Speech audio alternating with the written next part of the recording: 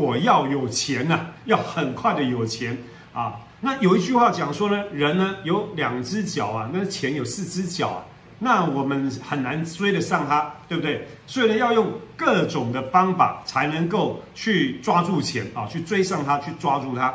那到底用什么方法呢？当然有很多种的方法。那我们再次再复习一下这个收入的四个象限，就我们的钱，我们收入到底是从哪边来的呢？当然，绝大部分人呢，可能都还在领薪资啊，领薪水，所以呢是在 employee 这个阶段啊。然后呢，少数人是帮自己打工的，OK，那很棒。但是问题呢，这边呢左边都是叫做主动收入，你做的再怎么好。一旦你停下来之后，你马上没有收入，所以呢，有做就有，没做那就没有。所以我们尽可能要往右边移动，移动到 V 象限跟 I 象限这边的收入呢，叫做被动收入。然后呢，这边呢 V 象限呢是靠一个系统来赚钱，来获取收入，而 I 象限呢就是各种的以前生钱、以前赚钱的方式。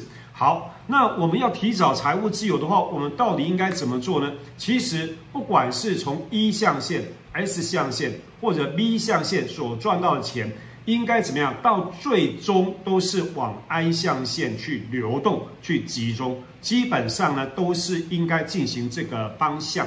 但是呢，你会觉得说呢，诶，难道真的是这样子吗？这种用其他方法有没有办法呢，达到这种财务自由呢？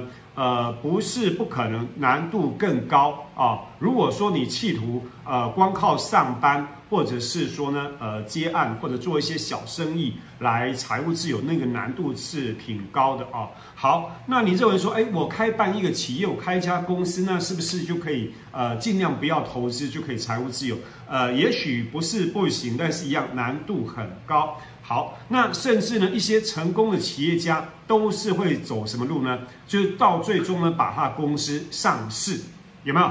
上市到资本市场里面去套现。那《富爸爸穷爸爸》这里面呢，呃，一系列书里面呢，其中有一句话就讲到，就是这个罗伯特清崎啊，作者他的富爸爸曾经跟他讲过的一句话，就是说到最终呢，你要追求的不是去买卖股票赚价差。他说 No，不对。啊，甚至也不是纯股票，也不对，应该怎么赚钱呢？谁知道？可能你都忘记了啊，读过很多次了，但是又忘记了。来，我给你复习一下，你要印钞呃印股票换钞票，这个才是对的啊。他的富爸爸这样教他，不是去买卖股票，不是，是去印股票换钞票，了解吗？对，那你凭什么你印的股票人家要买？当然你有。赚钱的机会分给人家嘛，是不是？你要开办一家企业、一家公司，然后呢，把它做到上市，那当然就变成是印股票换钞票，就是这个意思啊。好，那为什么呢？你应该要更关注这个 B 象限的收入呢？为什么呢？因为你能够用来投资的钱很少了。假设假设你现在已经有好几百万、几千万、几个亿，哎呀，那当然没问题了。我们就好好的研究这个你的投资组合该怎么做，该怎么样配置这个美金或者人民币或者台币啊，然后还有你的股票、基金、债券、房地产等等，该怎么配置？那当然好好研究这个，OK，no problem，很好很好。但是绝大多数人呢，有没有达到你的 buy number？有没有达到一个比较有意义的一个投资的本金？绝大多数人没有，对不对？那没有的话，那我们的仔细研究一下。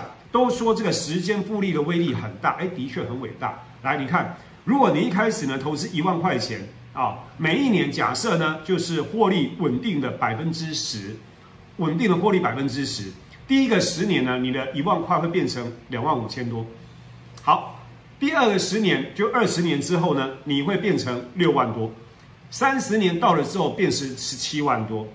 四十年到了之后呢，你有四十五万多，哇，很不错，对不对？一万块。五十年之后，你有一百一十七万，天哪，好棒！唯一美中不足的是什么？看清楚，五十年，天哪！假设你今年是三十岁的话，五十年之后你八十岁，天哪！OK，八十岁，这个钱有钱当然不是坏事，但是真的实在是不够好。对不对？你会不会觉得不够好啊？你对数数学的理解能力够强的话，你看这个公式，你就可以看出端倪来啊。一加上你的本金啊，挂号起来，然后乘上一个报酬率，这个是时间的次方，这三个数字都是越大越好。但是呢，这个是你的本金，这个是报酬率，这个是时间。其实更关键的因素是什么？时间是时间的关系，让这条线变成曲线。如果说不是这个次方的话呢，它是一条直线，一条斜线，这样子是完全不一样的意思啊。好，那复利的力量再怎么威，呃，再怎么伟大，再怎么强，不给你时间，我不给你时间，那你能够帮我赚到多少钱？还是太难了嘛，对不对？还是太难了，你没办法让你的钱呃突然变大，这个是做不到的，做不到的。啊，所以你能够投入的本金应该不是很多，对不对？报酬率六趴、七趴、八趴到九趴、十趴，几乎到天花板了。你要再上去的话，风险已经非常的高了，对不对？而且你还希望这个数字能够稳定一点，是不是？那你再来，你要让它变大，那就是时间喽。你把时间给他，但是你把它时间给他，你势势必然你会变老，对不对？你把时间给他，你就变老了。那万一你太老了？拥有很多钱，这个意义又不是太大，对不对？好，那所以说呢，I 象限很棒，是最最终是 E、S 跟 B 这三个象限的最终呢，这些钱这些现金流应该流动到 I，这个 OK 没有问题。但是呢，我们需要一个更快的赚钱的一个方式，那到底怎么做呢？B 象限里面的其中啊，不管是 S S 象限也 OK 啊，我提出来一个呢，叫做倍增市场。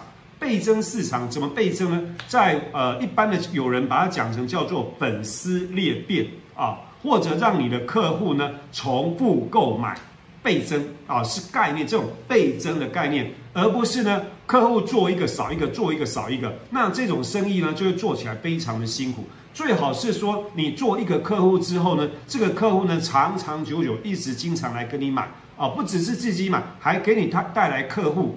带来更多的客户来跟你买东西，让你赚钱。那甚至最终呢，他能够变成你的员工，变成你的合伙人，那这样更棒，那这样更棒。好，那如果说呢，能够去找到这样一个倍增市场来赚钱，那就非常棒。怎么样形成这个系统呢？我要特别要强调，我这边呢是能够说倍增市场可以赚快钱。快钱的意思呢，是指的三到五年去赚到一个非常大、一个蛮有意义，对你来讲，对你的财务自由来讲非常好的一个数字啊。但是呢，not easy money，我没有说很 easy，我没有说很轻松，no，不是，我说的是速度很快，多快？三到五年可以达到一个非常好的一个数字。但是我并没有说它很轻松。那方法跟步骤的这个心法呢，叫做学做教，就是说，假设你还不知道怎么做，那你最好能够找到一个成功的人或者成功的模式去跟他学，你去跟他学，然后呢跟着做，然后呢你要开始复制，往下复制，你要去教，教你的员工，教你的合伙人啊，或者甚至把你的同业变成你的合伙人。然后你把它教会了，然后呢，他赚钱的同时，你也能够获得部分的利润，就是这种做法。这个呢叫做倍增市场的做法，很重要啊。好，那到底一个普通人，我现在讲是普通人呢，不是学霸，然后不是有一个富爸爸或者是一个官二代、富二代，no，不是，我说的是一个普通人。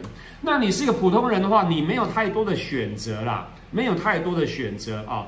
那意思就是说，你应该从你既有的兴趣爱好专长出发，从你的兴趣爱好专长出发。很多人都来问说：“哎呀，我要想要做这个事业，我想要投资这个啊，我想要跟朋友一起开一家公司做什么？听说那个很赚钱，很赚钱。那也许是真的，也许是对的，但是呢，你做不到，那个钱不见得是你能够赚的。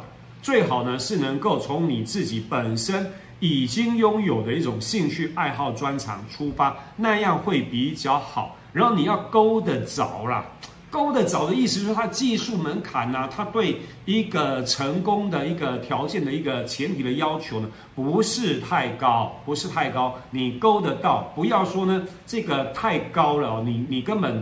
就是说，拿一把梯子，拿拿个很高的梯子让你去爬，你都勾不到，那这样是没有意义的啊，没有意义，你做不到。最重要是关键，你能够投入多少的钱，你多少时间精神？因为我现在已经先假设你没有很好的人脉资源嘛，是不是？不是说你打打一通电话，然后呢找到一个有利人士，然后呢打通一个关系，马上获得一个大订单，然后你就可以赚很多钱。No，我我讲的不不是这样，我讲的是一个普通人，你没有那么多资源啊，所以说呢，你一定要从这边仔细去思考兴趣爱好专长，然后勾得着，然后呢再仔细去考虑你拥有多少的时间精时间精神还有金钱。